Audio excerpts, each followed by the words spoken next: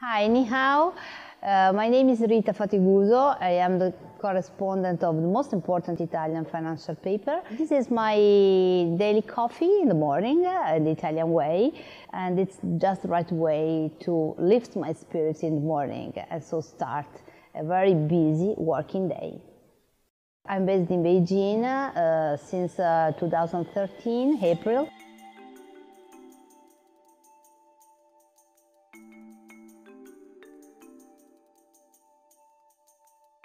I can say that in five years uh, the situation has really, really changed a lot. And uh, mm, there are more and more opportunities, also from a technical side. I don't speak Chinese. I love China. I know some, I tried in 15 years working with China, eh, in China, to understand some of the culture or the difference, the way in which approach people here. So this has helped a lot me just to um, catch the opportunity I have here to uh, describe what's going on in China and all the changes in this country. In five years, many, many change very dramatically just from the first time I came here. Um, so I can say that really I am very happy on, on that.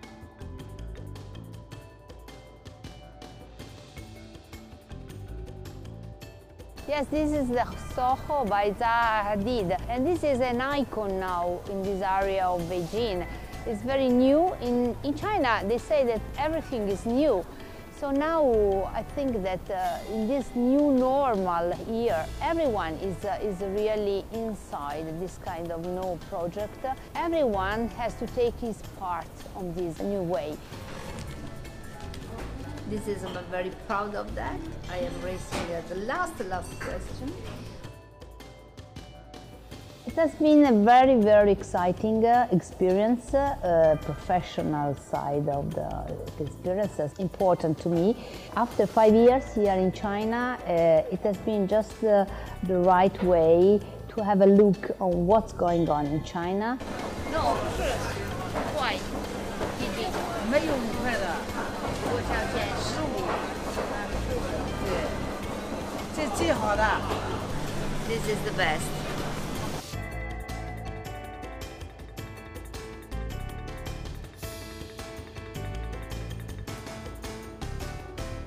It has been uh, a very important uh, also for me like a journalist because I had big opportunities to be very in touch with some leaders and also some delegation during the, the Congress and to understand how China works in this uh, very important decisional uh, moment.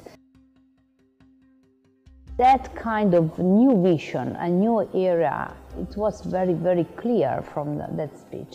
So I think that he's the right person to be considered the core leader and it's just very important in this in this in this moment to have a very stable leadership as I told you before because China is a great country and a, lot of big problems a lot of also big goals. I think uh, this this is the good starting uh, for next five years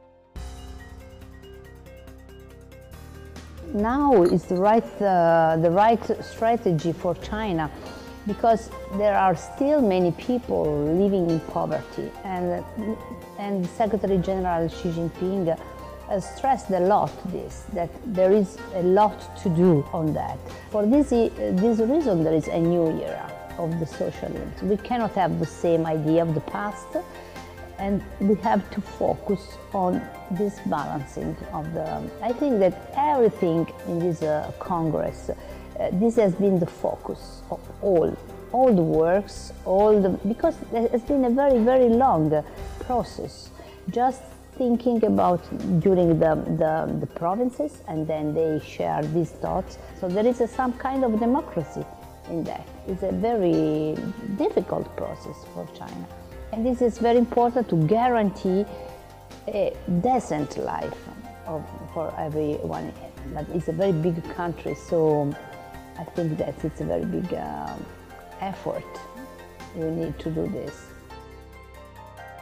Uh, I remember just this uh, word uh, in the report. It told that China has also big problems to solve. So we cannot uh, think about solving in few, in very short time.